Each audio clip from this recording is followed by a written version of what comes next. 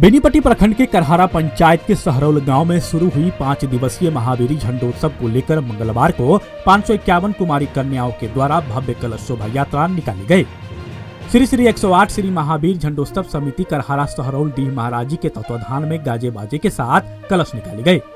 कलश शोभा यात्रा झंडोत्सव स्थल से निकलकर मधुबापुर प्रखंड सीमा के तिरमुहान स्थित धौस नदी के उत्तरवाहिनी तट से पवित्र जल भरकर तिरमुहान समदा इस्लामिया टोल, सहरौल, डीह टोल, महाराजी टोल सहित अन्य टोलों व गाँव का परिभ्रमण करते हुए पुनः झंडोत्सव स्थल पहुँचे, जहाँ मौजूद पंडितों ने वैद्य मंत्रोच्चारण के साथ कलश को निष्ठापूर्वक स्थापित कराया। झंडोत्सव का विधिवत उद्घाटन शिक्षक राम प्रबोध यादव ने की 111 फीट ऊँचा महावीर झंडा विशेष आकर्षण का केंद्र बना हुआ है। वहीं झंडोत्सव समिति के अध्यक्ष शंकर यादव, सचिव सूरज कुमार यादव और कोषाध्यक्ष विमल कुमार यादव ने बताया कि गाँव में शांति, प्रेम, खुशहाली और आपसी भाईचारा बढ़ाने की कामना से 20 से 23 मार्च तक समस्त ग्रामवासी के सहयोग से झंडोत्सव का धूमधाम और हर्षोल्लास पूर्वक आयोजन शुरू किया गया है।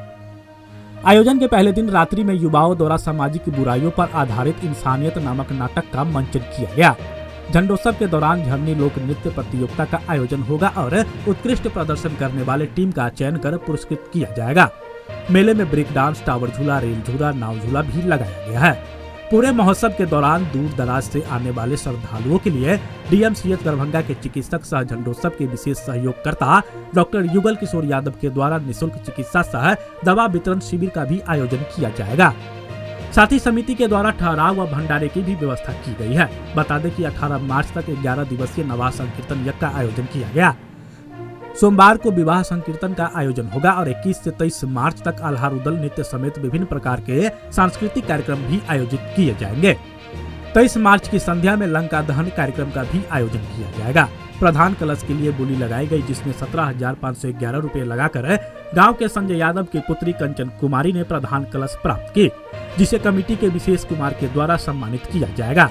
मौके पर समिति के सदस्य विनोद कुमार यादव राम प्रकाश यादव चंदेश्वर यादव व नीलाम्बर कुमार सहित अन्य लोग भी कार्यक्रम को सफल बनाने के लिए प्रतिबद्ध दिखे। बताइए क्या कुछ आयोजन है इस बार झंडा महोत्सव में? झंडा महोत्सव में इस बार का जो आयोजन है झंडा मेला में झूला विभिन्न प्रकार के आए हुआ है। हम्म, और नाच तमाशा का भी व्यवस्था किया गया है अच्छा। रात्रि विश्राम में जो पब्लिक के लिए हम्म। कब से कब तक आयोजन है और क्या क्या कार्यक्रम है वो बताइए मैन तो शुरुआत हुआ नवाह जो दिनांक आठ तीन दो हज़ार चौबीस से हम्म, अठारह तीन दो हज़ार चौबीस तक नवाह का आयोजन किया गया उसके हम्म। बाद झंडा उत्सव का महोत्सव का हम्म। आयोजन किया गया जो कि अठारह तीन से तेईस तीन दो हज़ार चौबीस तक रहेगा आज क्या कुछ कार्यक्रम था आज का हाँ, विवाह कीर्तन है रात में हम्म। और कलश शोभा यात्रा दिन में किया गया है। कलश शोभा यात्रा में कितनी कुमारी कन्या है जो भाग ली है? पाँच सौ इक्यावन कुमारी कन्या का उसमें भाग ली है। और कहाँ से चल करके और कहाँ जो जलबोझी का काम है वो कहाँ होगा? झंडा स्थल से हम्म, त्रिमुहान घाट है हम्म, कचहरी मोड़ के पास उत्तरी नदी से। जल अच्छा जल भरा जाएगा। और परिक्रमा कौन किस किन किन गाँव को करना है? और फिर यहाँ पहुँचेगी? सोहरौल और करहारा सहरौल और कहरा का परिक्रमा करते हुए यहाँ यहाँ कलश को स्थापित किया जाएगा। क्या कुछ इस दौरान कार्यक्रम है और लोगों से क्या कहेंगे आप? लोग तो हम लोग हार्दिक अभिनंदन उनको करते हैं कि भाई आप लोग अधिक से अधिक आकर यहाँ सहयोग करें मेला देखें। हम्म, व्यवस्था इस ढंग से है सारा व्यवस्था किया जाएगा आप लोगों के लिए। भोजन वासन का भी व्यवस्था है। अच्छा यहाँ जो आयोजन होता है तो इस मेले में आसपास के कितने गाँव के लोग पहुँचते हैं? इसमें पहुँचते दस पंद्रह गाँव के लोग पहुँच जाते हैं। कितनी अमूमन भीड़ रहती होगी? लगभग ऐसे पच्चीस हज़ार के लगभग। लगभग। जो। भी दुकानदार है उनका भी व्यवसाय अच्छा खासा हो जाता हाँ है। जी हाँ। ये किस जगह पे ये झंडा मिला है? सोहरौल गाँव के बीच में है। गाँव के बीच में। हाँ। आपका नाम क्या हुआ? राम प्रकाश यादव। और आपका नाम? सूरज यादव। नाम है पिछले झंडा महोत्सव करने का उद्देश्य क्या है आप लोगों का?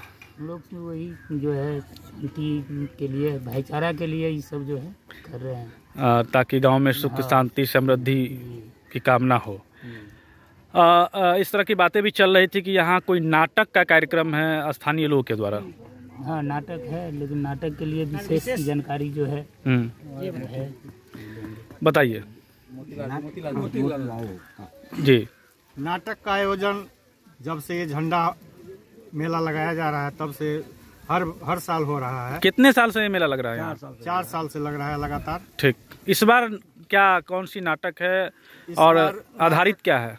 इस बार नाटक का आयोजन इंसानियत नाटक से संबंधित है। हम्म। उसमें हम लोग गाँव के सहयोग से जो नवयुवक लोग हैं वो अपना योगदान करते हैं। और एक संदेश जो है वो समाज में जाएगा। हाँ। क्या नाम हुआ आपका? मोतीलाल यादव। आपका नाम क्या हुआ? विनोद कुमार यादव। अहाँ सब झंडा किया करबै छियै खुशहा है महावीर जी के हम सब भक्त छी हम सब हे बजरंग बली हमर शरीर अगर हमारे समाज के कमी तो सब साल एने करबै।